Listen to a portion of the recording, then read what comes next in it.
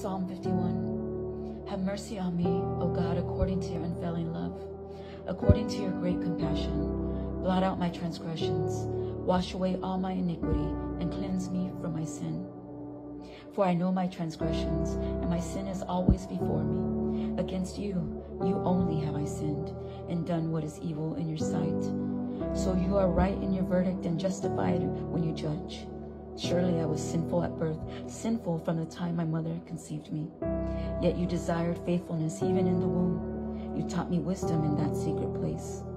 Cleanse me with hyssop, and I will be clean.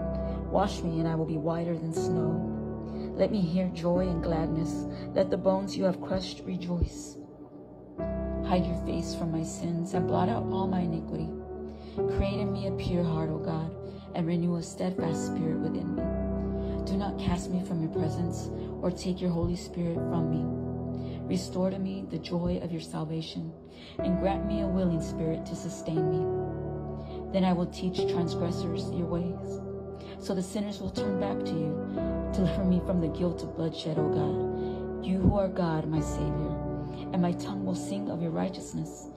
Open my lips, Lord, and my mouth will declare your praise. You do not delight in sacrifice, or I would bring it. You do not take pleasure in burnt offerings. My sacrifice, O God, is a broken spirit, a broken and contrite heart. You, God, will not despise. May it please you to prosper Zion, to build up the walls of Jerusalem.